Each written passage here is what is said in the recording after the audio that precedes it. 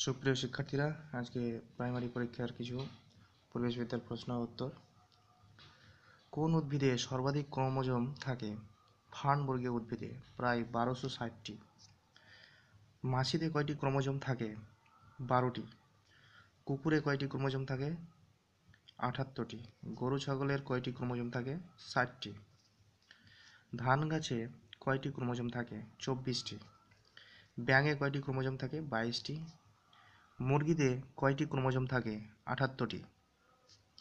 ভেড়াতে কয়টি ক্রোমোজোম থাকে? চুয়ান্নটি।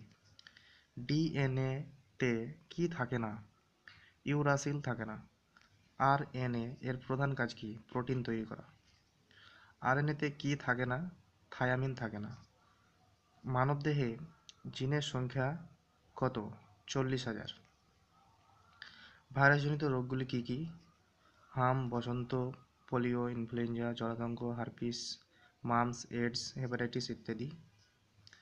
ব্যাকটেরিয়াজনিত রোগগুলি কী কী? কলেরা, টাইফয়েড কুষ্ঠ যক্ষা ডিপথেরিয়া, নিউমোনিয়া ইত্যাদি।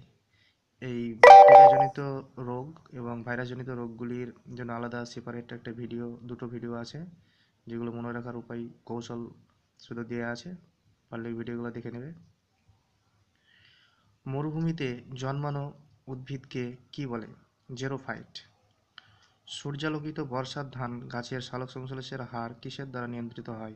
কার্বন ডাই অক্সাইডের ঘনত্ব হতে। টিকটিকির লেজ খসে যাওয়ার কারণ কি? ভয় পেলে টিকটিকির লেজ খসে। বিশ্বের সবচেয়ে বিষাক্ত প্রাণীর নাম কি? সি ওয়াপস বা সমুদ্র বলতা। এরা এক ধরনের জেলিফিশ। অ্যামিবা শব্দের অর্থ কী? সর্বদা পরিবর্তনশীল।